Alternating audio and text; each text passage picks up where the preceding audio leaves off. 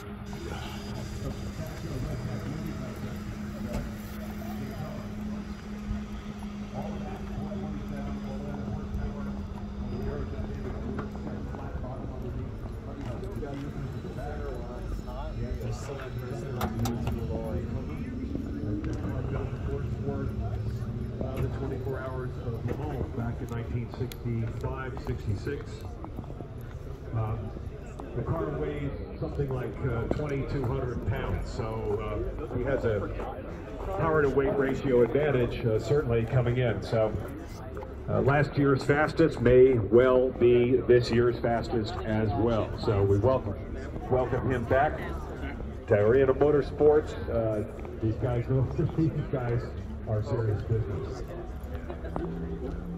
Then we left the car there for a month. Oh. You familiar with Turtle? Uh, you know.